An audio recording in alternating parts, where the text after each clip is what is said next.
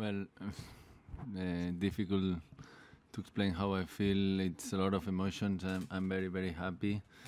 Uh, as I said, uh, I lost, I think, four times in a row in first round, and uh, this year for the finals for the moment. So I'm really, really happy. I think I played a very, a very good match, a very smart match, and I'm very happy. What do you think you were doing right against Milos? I think I I returned very good.